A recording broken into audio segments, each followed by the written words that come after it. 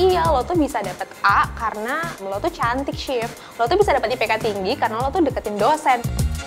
Gue pernah ada orang yang ngomong langsung ke gue kayak oh lu Miss Indonesia ya? Um, sekarang jurnalis. Dikirain Miss Indonesia tuh gak mau panas-panasan loh jadi dulu aku sempat jadi duta kampus gitu kan. Terus si dosen ini tuh mandang, oh kayaknya si Sanas nih nggak serius nih dengan kuliahnya gitu. Si Sanas ini cuma pengen kayak tampil cantik aja, terus jadi apa namanya ibaratnya jadi kayak pajangan kampus lah gitu. Halo, gue Sharon. Gue tuh suka bete kalau misalnya ada yang bilang ke gue kayak Sharon udah pacar belum? Terus gue jawab kan, belum, karena emang belum gitu.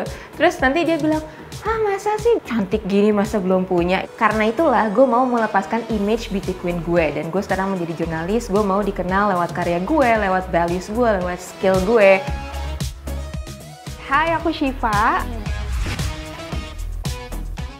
sekarang bekerja as a growth specialist dan sebagai content creator juga.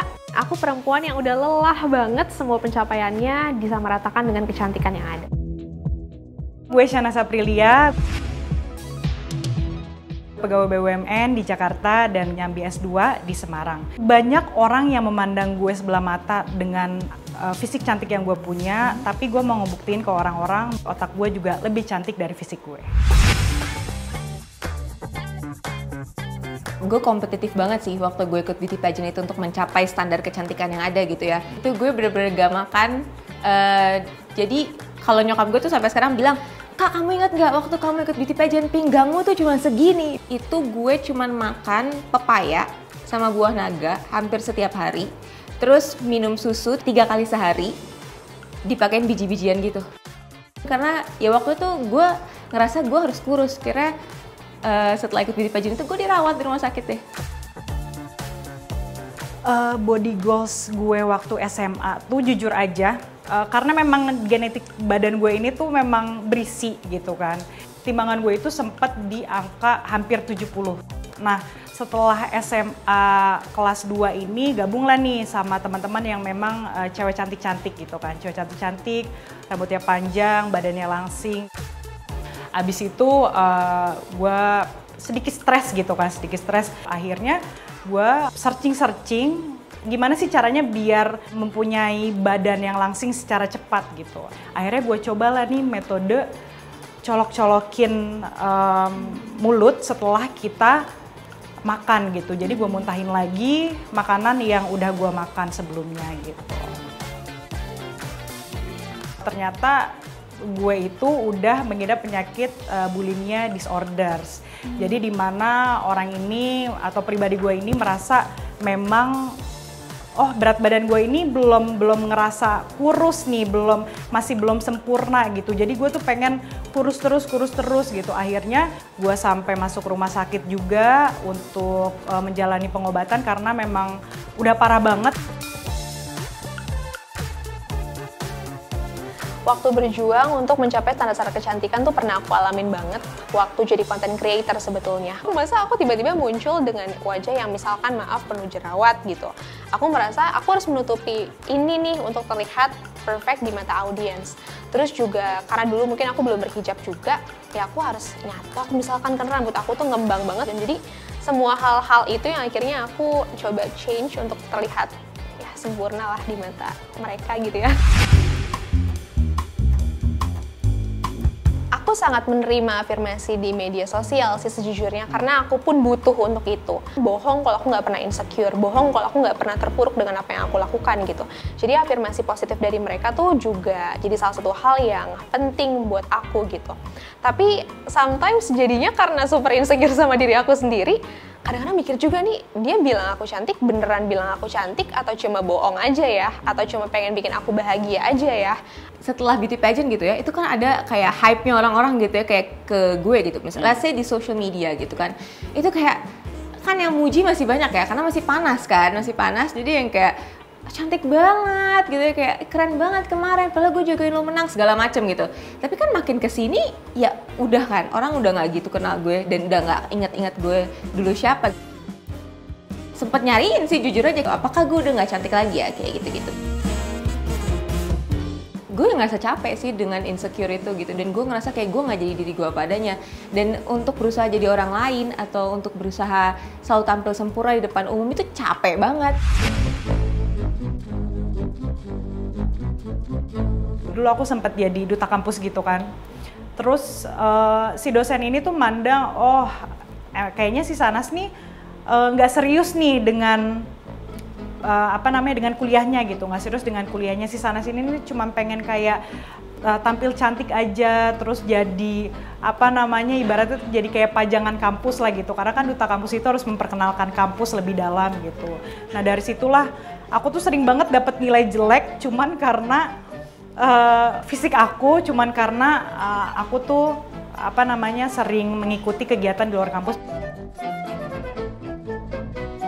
jadi selalu dibilang kayak iya lo tuh bisa dapet A karena um, lo tuh cantik shift lo tuh bisa dapet IPK tinggi karena lo tuh deketin dosen misalkan. Padahal ya itu nggak bener kan?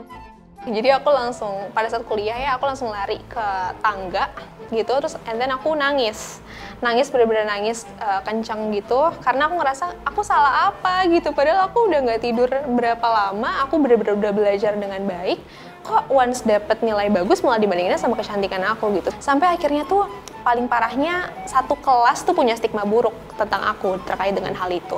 Jadi akhirnya aku itu sempat ada punya kelompok gitu. Dan sekelompok ini mereka sama-sama bersekongkol untuk bilang bahwa Shiva misalkan nggak ngerjain tugas Shiva misalkan nggak capable at doing something gitu ya sampai akhirnya nilai aku jeblok nilai aku itu bener-bener hancur gue pernah ada orang yang ngomong langsung ke gue kayak oh lu Miss Indonesia ya um, sekarang jurnalis dikirain Miss Indonesia tuh gak mau panas-panasan loh. Waktu itu ada stereotip-stereotip kayak gitu loh. Even nyokap gue sendiri gitu ya, nyokap gue tuh masih yang kayak, Kak, kamu tuh Miss Indonesia loh kak, itu tuh selamanya loh kak, gitu. Kamu mau kerjanya kayak gitu, gitu. Karena nyokap gue tuh mengimpikan gue kalau kerja tuh yang pakai heels, rock span, cetak-cetok, jalan ke kantor kayak gitu.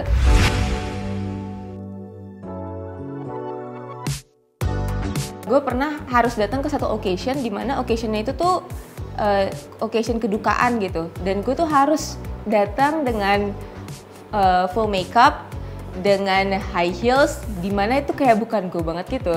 Jadi di saat itu gue mikir kayak aduh kok gue ngerasa nggak nyaman ya dengan dengan diperlakukan seperti itu gitu. Maksudnya harus harus tampil sedemikian rupa gitu hanya karena gue seorang public figure waktu itu di daerah itu gitu. Tapi lagi-lagi gue merasa bahwa oke okay, gue harus profesional gitu. Jadi whatever the consequences is when I hold a title ya harus gue telan aja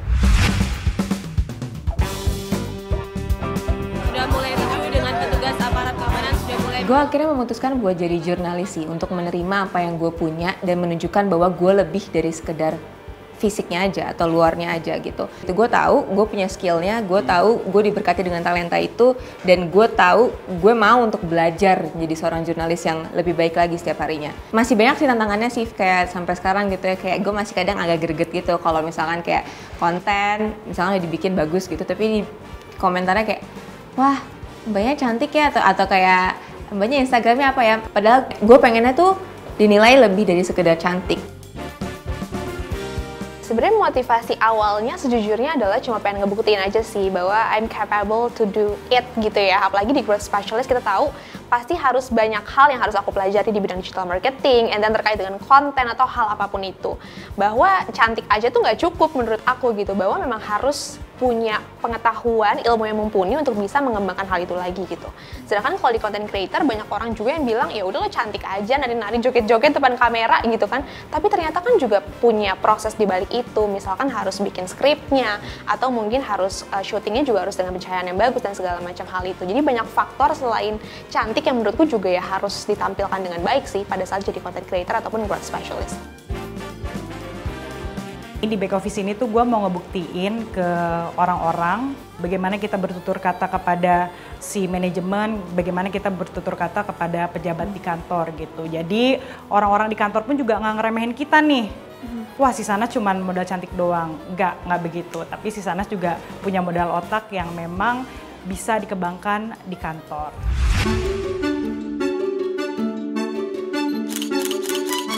Dari proses aku akhirnya menerima diri selama bertahun-tahun. Jadi cantik itu bukan hanya terkait dengan apa yang kamu punya dari ketika kamu lahir, mulai dari wajah, badan gitu ya, atau mungkin outfit yang kamu gunakan, tapi bagaimana akhirnya kamu tuh bisa punya hati yang baik, lalu juga berdampak bagi orang lain.